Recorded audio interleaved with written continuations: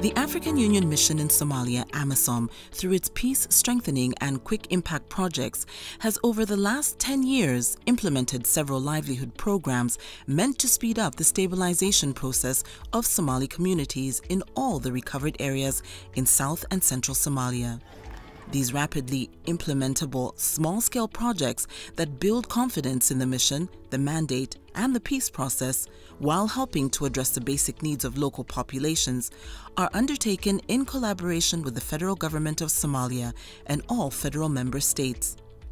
As such, the projects are implemented in Benadir region, where Mogadishu is based, the southwest state, that includes Baidoa, the Jubaland state that includes Kismayo, and the Hirshabelle state that comprises of Jowhar and Beledweyne. AMISOM, funded by partners that prioritize peace support operations, implement projects with varying objectives to build confidence and restore hope to the communities in the recovered areas offer. What we do at Civil Affairs is to be able to first go out there and conduct uh, assessment, assessment of the situation on the ground, uh, concentrating on the needs of those communities. Dr. Kumar Primary School, established in 2009, was badly damaged in a suicide bomb attack, leading to its closure in 2016. This is one of the schools that provide education to over 400 pupils that AMISOM has renovated in Somalia under the Quick Impact Project QIPs program. The renovation of uh, six classrooms blocks will facilitate access to education as a place where teaching and learning can take place in a conducive environment. This is the best way that we can uh, show that uh, the African Union is also here uh, to support.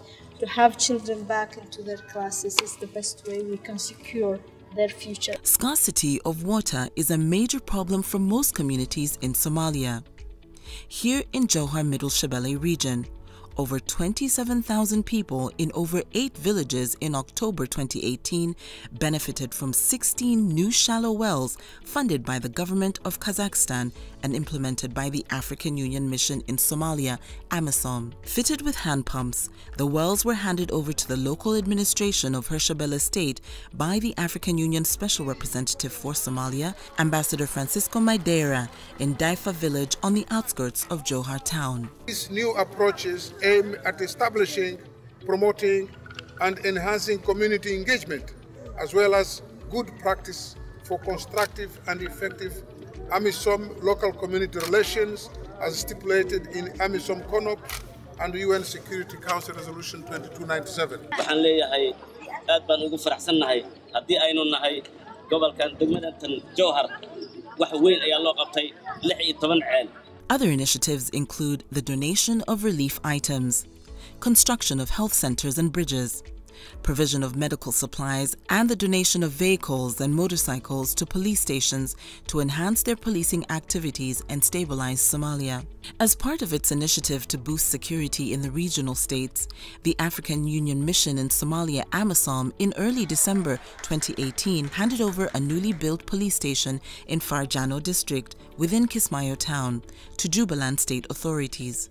The handing over of Farjano police station in Jubaland is one of the ongoing reconstruction and rehabilitation of police stations in Somalia by AMISOM. As African Union felt that supporting the Jubaland state to build ist- institutions, including the institution of police, is part and parcel of our effort to bring peace and stability. soomaaliya wax badan baa lala qabtay khaasatan juula wax badan baa lala qabtay kan waa taariikhi gedisan sababta waxaa weeyaan in qarnigan la joogo sila duniyada halkay marayso maanta geed hoostii xafiis ku shaqaynayay loo dhisa daar ku shaqeeyo waa taariikh weyn The list includes Karan Police Station, Yaqshid Police Station, Dayniile Police Station, all in Mogadishu, and Beledweyne Police Station, among others. As always, SPF is very appreciative of AMISOM's efforts.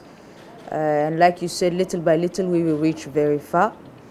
Uh, and I'm very happy to see that every time I go to the stations, there's a very close uh, collaboration between the FPU and the SPF offices and that really makes me very happy to see. Such quick impact projects by AMISOM and their donor partners, such as the government of Denmark and the European Union and the federal government of Somalia, have contributed to building confidence in the mission.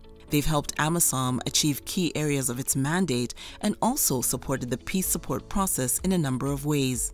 These projects have rapidly addressed key community needs that serve as the early peace dividends in the mission, cemented and supported conflict management and resolution through trainings and workshops, built legitimacy and the capacity of local authorities and organizations, and also enabled community engagement, dialogue, and interaction that comes with the process of project identification, stakeholder consultation, and project implementation. They have also helped the uniformed components of AMISOM to engage with local communities through project development, monitoring, and implementation. Despite the challenges, AMISOM will continue to assist the federal government of Somalia and all federal member states in establishing administrative structures, systems, and capacities in all newly recovered areas of South and Central Somalia